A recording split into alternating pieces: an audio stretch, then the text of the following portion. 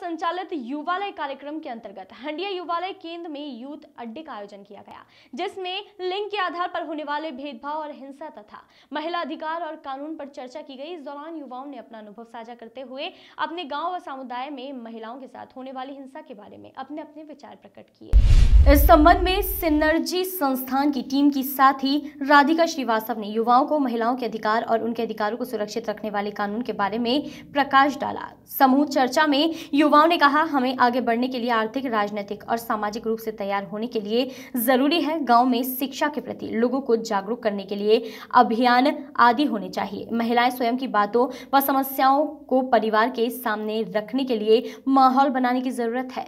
समुदाय में महिलाओं के प्रति सम्मान की भावना स्थापित करने के लिए युवाओं को आगे आने की ज़रूरत है। संवैधानिक मूल्यों को समुदाय में ले जाने की आवश्यकता है। इस दौरान सात गाँव के युवा यूथ अड्डा में शामिल हुए तोड़ तोड़ के बंधन को देखो बहने आती है तोड़ तोड़